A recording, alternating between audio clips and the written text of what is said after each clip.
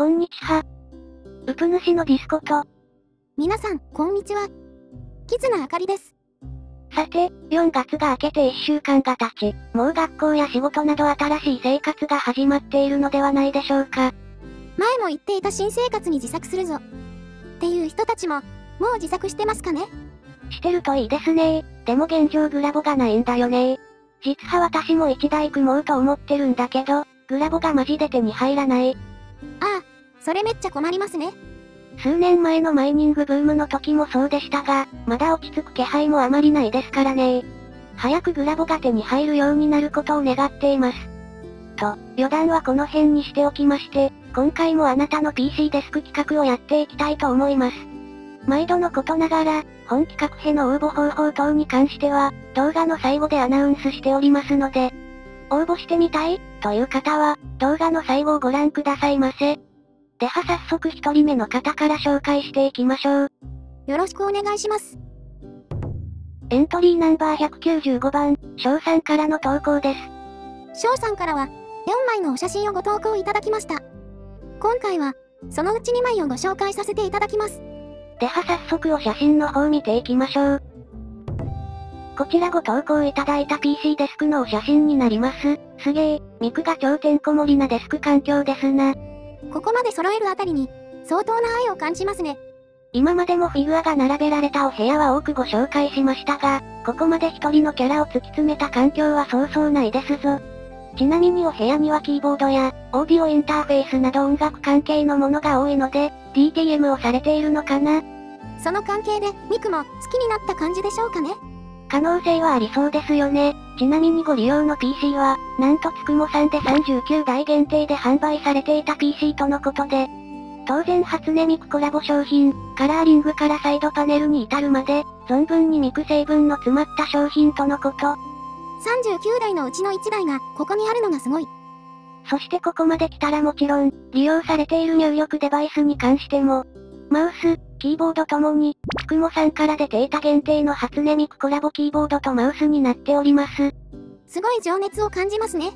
このキーボード、コラボ製品だからと侮れず、アルミフレーム、専用の制御ソフト、青軸採用と、使い勝手までかなり良さそう。あと、単純にデスクとして面白いなと思ったのが、机の上にメタルラックを置いてるんですよね。これかなり便利そうですね。机に、一気に拡張性が広がってますよ。マイクなどもメタルラックを利用して設置されていたり、このアイディアはすごく面白いなと思いました。では次は PC によったお写真を見ていきましょう。こちら PC によったお写真になります。左がミクコラボ PC、右は自作された PC とのこと。さすがは、企業レベルの商品だけあって、サイドのプリントや内部の作りもかなり綺麗ですね。私がこの写真を見て驚いたのはファンガードですね。PC 内部にミクの形をしたファンガードが設置されています。こんな細かいところにまで愛が詰まっているとは。ちなみに右の PC に至っては、自作ですがミクのフィギュアを綺麗に展示するため、あえてグラボを設置していないとのこと。愛の深さは、スペックをも犠牲にできる。ということで、気になるこの2台のスペックですが、左の PC は CPU に i9-9900K を搭載、メモリは16が2枚の 32GB、グラボに GTX1070 を搭載した PC とのことでして、右は CPU に i5-8400 を搭載、メモリ 8GB と、サブ PC らしい構成になっていますな。ちなみに、この i5-8400 はもともとコラボ PC 付属のもののようで、コラボ PC は CPU、メモリ、グラボをすべて強化されたとのことなので、CPU とかが余ったから2台目を、ってやつかと予想してます。ああ、めっちゃ自作にあるあるなやつですね。私はこの現象を PC が子供を産んだ、と表現してます。自作はこのようにして PC が無限に増えていきます。画面の前でうなずいている方は多いんじゃないかと。ということで、エントリーナンバー195番、翔さんからの投稿でございました。翔さん、ご投稿誠にありがとうございました。ちなみにこの方からは Twitter のアカウントをいただいております。こちら概要欄にリンクを掲載させていただきますので、ぜひ合わせてチェックしてみてくださいませ。やはりミク関係のツイートがたくさんありましたぞ。ミク好きの方はぜひですね。では、次の方の投稿に行ってみましょう。よろしくお願いします。エントリーナンバー196番、UJAX1007 からの投稿です。UJAX1007 さんからは、4枚のお写真をご投稿いただきました。今回は、そのうち2枚をご紹介させていただきます。では早速お写真の方見ていきましょう。こちらご投稿いただいた PC デスクのお写真になります。おスタンダードな L 字、そしてお嫁さん成分強め。なんか、最近、逆に、スタンダードな L 字デスクを見ることが減ってたような？言われてみれば確かに。私は根っからの L 字派なので、やはりこの作業空間の広さに魅力を感じますな。こちらの方はそんな L 字デスクで、正面にディスプレイとスピーカー、左側にサブディスプレイ、とノート PC とかなり広々使われています。デュアルディスプレイ構成としては、かなり面白い配置ですよね。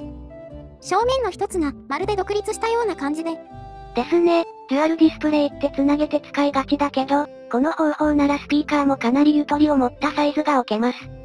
またメインディスプレイ下には液タブが置いてあります。デスクのコンセプトカラーがホワイトとシルバーらしく、このシルバーカラーの液タブは種類が多くないので、色選びの面でも重宝しているとのこと。で、利用されている入力デバイスに関しては、メインで利用されているのは Apple さんのキーボード、っぽいデザインや配列になっている、中華製品とのこと。結構品質が良くて愛用されているようですぞ。またマウスはロジクールさんの小型でホワイトのもの、小型なところが手にフィットして良いとのことでした。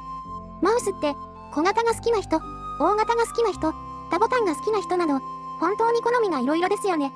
だからこそ自分に合う製品を探す回もあるってもんですな。では次は PC に寄ったお写真を見ていきましょう。こちら PC 内部を写したお写真になります。さすがテーマがホワイトというだけあって内部のこだわりもすごい。背面についているファン、めっちゃ独特でかっこいいですね。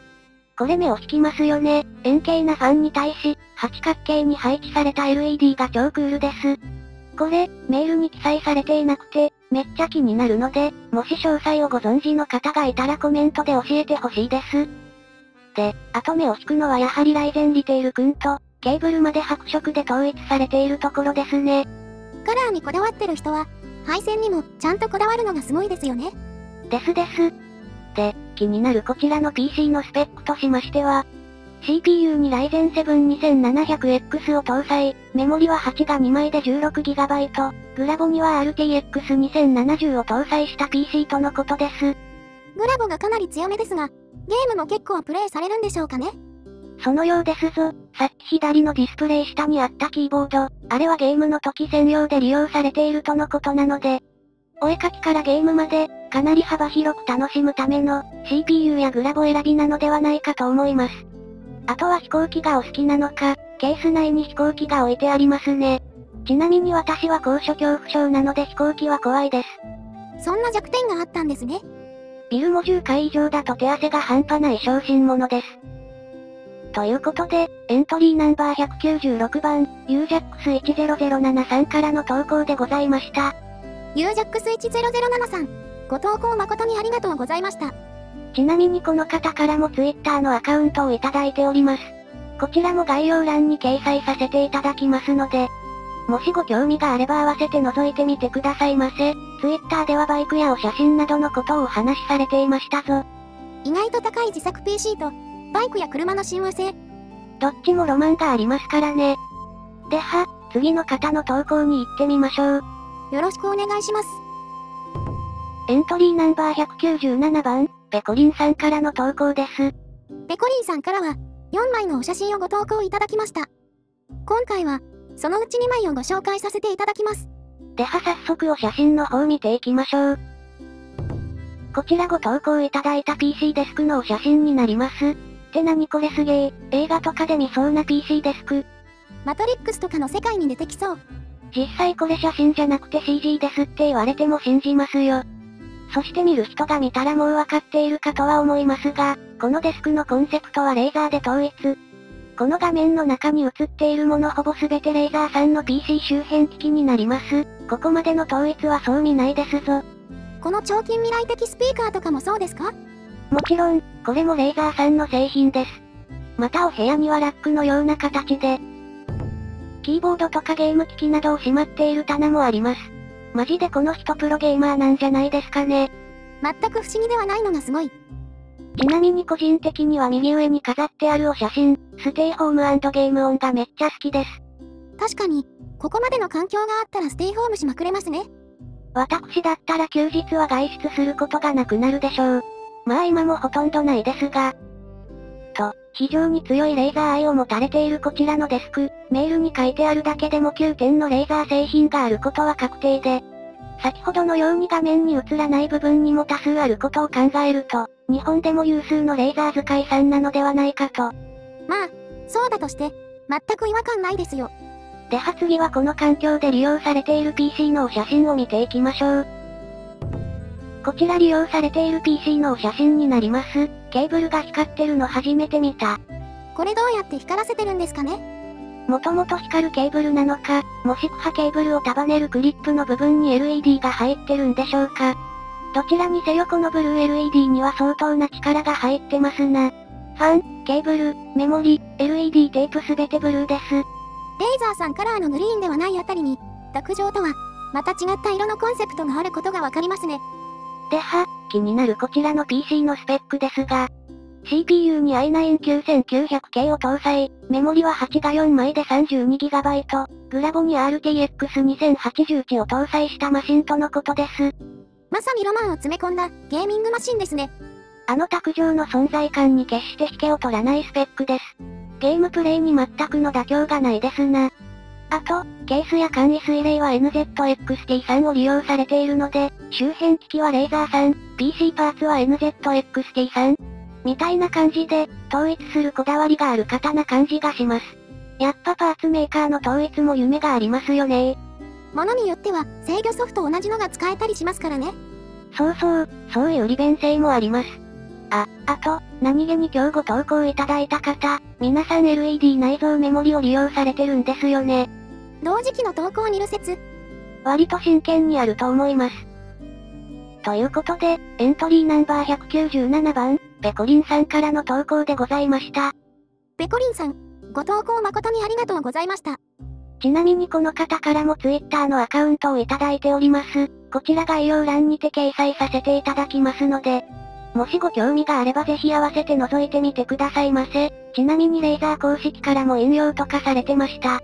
レーザーも認めるレーザーファンですね。こんな環境で一回ゲームしてみたいです。ということで、今回は以上3名の方の紹介で終わろうと思います。ご投稿をいただいた、翔さん、ユージャックス10073、ペコリンさん、ご投稿誠にありがとうございました。ありがとうございました。では、最後に毎度恒例本企画への応募方法ですが、本動画概要欄に写真投稿に関してはこちら。という形で、私のブログへのリンクが設置してあります。まずはそちらのリンクより私のブログ記事にアクセスしていただきまして、そこに記載されている応募要項やルールなどを読みいただいた上で、ご同意いただける場合は指定のアドレスまでご送付をお願いします。万が一ルールに反した内容になってしまいますと、ご紹介ができなくなってしまいますので、内容はしっかりとお読みの上で、ご応募をお待ちしております。じゃあ今回の動画はこの辺で、あかりちゃんよろしくね。はい。皆様ご視聴誠にありがとうございました。もしよろしければ、チャンネル登録もお願いします。ではまた、次回の動画でお会いしましょう。それでは。